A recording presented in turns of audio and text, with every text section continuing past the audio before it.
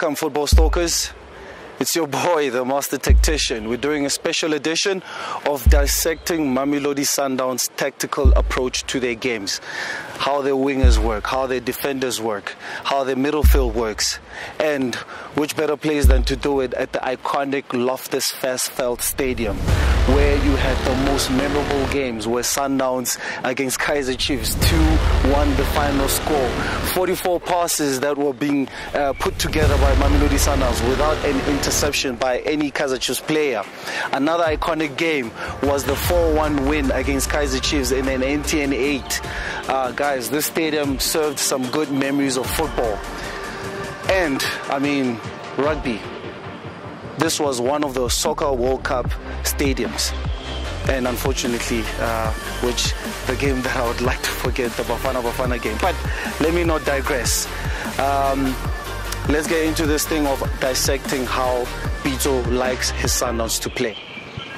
So, what's very interesting about the wingers that uh, Sundowns are using, because the way Sundowns likes playing on attack, uh, they basically like using their wing backs to press high, to overlap so that they can put in the crosses, supporting by the natural wingers to have your interplays and stuff. Now, on the left hand side, mostly, which obviously uh, uh, Pitso Mosimane's uh, preferred left back is Langerman. And what he likes doing, he likes running to, to overlap. And what you have in the middle there is Hlompho Kekana, who obviously is right footed. Only he always picks up Langerman's run. So he plays the diagonal ball where Langerman would pick it up, basically running and putting the crosses. Now, there's been other instances where if Langerman has support, where one of the wingers, whether it's Zwane, whether it's Morena, he's also going to tuck in, pass the ball in, and then also try and have a movement where he goes back, basically trying to to drag in the defender to come inside, giving more space on the wing, and then he goes back. Zwane would lay it off, or Morena would lay it off, and then he puts in the crosses. That's generally how Sundowns would play normally on the left, whereas on the right. Uh, which in this case, if, if Pitso is using Morena as a right back rather than Ngcongca, what you'd find is Morena would trust more his pace, and what he would do is on his own, without any support from the wingers, he would try and basically play the ball into space and try and overlap by beating the defenders. But instead of uh, like Langerman would do in, in crossing the balls, Morena would rather come inside and try and play the killer pass instead of putting the crosses in. But he does at times put the, the, the crosses in. But he also likes enjoying playing the one-two touches, playing the triangle passes where he comes inside, where they confuse the defenders. And what you normally find is when he does what he does, defenders would normally push inside to try and stop him from putting in the cross. And what they're actually doing is giving more space for him to cut back the ball, where you most likely would find a finisher who's just basically going to place the ball in the back of the net. So, in the center of the stadium, which obviously is the middle field, uh, where you are most likely to find a combination of Kekana and Jali for this upcoming game. But you had before, you had Kekana and Mudise, uh, who was uh, um, um, uh, Pitso's uh, preferred combination in middle field, and then obviously with the introduction of Bongani Zungu, where Zungu was the one who was protecting and releasing more Kekana into an advanced role, and then basically having their interchanges but I'll concentrate on Jali and Kekana. Now, Kekana's um, basically, I spoke about him playing the diagonal balls. Now, with his right hand, with his right foot, he likes playing the diagonal ball to Langerman. And I think Pitso has been looking for a midfield who's going to be able to play the diagonal ball with their left to the right for the like of Morena or Ngcongca to have their overlap. Now, what you're mostly going to find with Kekana, Kekana he's going to be trying to press the ball. He's going to be trying to press the middle field.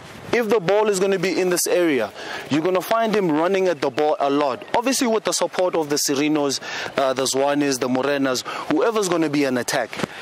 And uh, Jali is going to be more of the one who's going to be at least trying to protect the center backs from the attack that's going to be coming. Uh, what's very interesting is I've seen Jali as well trying to also play the ball on the right as well. He's trying to do that. But what's very interesting is that Kekana, with his age, they prefer him to be more attacking because if he becomes defensive, he covers more ground. And I don't think Coach Pitso would want that because then he's most likely going to expose the defense of Sundowns. So you would like him to be the one on attack. Sundowns is more deadly when they're on the front foot rather than when they when they're defending. Now, what I've noticed about Sundowns defense. Now, obviously the play is mostly about the wing backs pressing high and overlapping.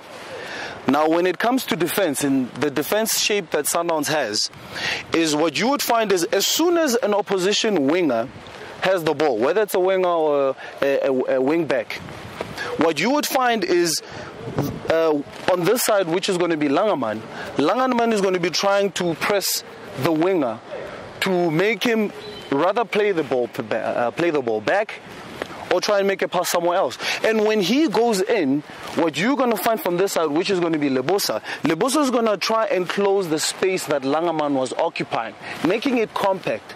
Now, Sundowns in attack and in defense, they always have a compact block. Now, when they're attacking, they're attacking numbers, making it also difficult for the opposition to defend against them because they have numbers. They have they play their triangle passes. Now, when they lose the ball, they try and press the ball to get the ball back in your in the opposition's half. When that doesn't happen, when they come back to defend, they also leave a compact line. Now you probably find from the defense line to the middle field, which in most cases when they defend they have a formation of 4-4-2. Now between the 4-4s, you'll find that there's a, a gap of about five meters. They're trying to keep it compact. They're trying to not leave too much space for the opposition. Now, when the winger goes outside, Lebusa would come in and close the gap where Langerman was, was occupying. Same goes for Morena or Ngcongca, who, if they go and press the ball, you'd find whether it's Arendse or it's Madisha, they're also going to try and close the gap where the, the space, uh, where uh, Morena or Ngcongca was occupying the space. And then you'd then find a middle fielder, in this case, Jali or Kekana, trying to also cover in and uh, basically creating more compact other situations, what you would find is the whole team would all move in a direct in one direction. If the ball is on this side, you would see that the whole team in a compact block are going to move this side. If the ball goes that side, you would see that the whole team would try and move as a whole uh, team going this side, creating that compactness, making it difficult for the opposition to play their passes or to basically create any real opportunities. That's basically how Sundowns would would try and and defend. Uh, and it, it's it's very.